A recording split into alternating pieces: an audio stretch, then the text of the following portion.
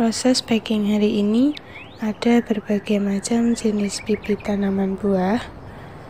Di antaranya ada bibit kelengkeng kristal, tinggi sekitar 70 cm dan masih banyak lagi jenis bibit tanaman buah lainnya. Proses packing tanpa pengurangan media tanah sama sekali menggunakan packing peti kayu. Terima kasih kami ucapkan kepada yang sudah order. Untuk pesanan akan segera kami kirim hari ini juga.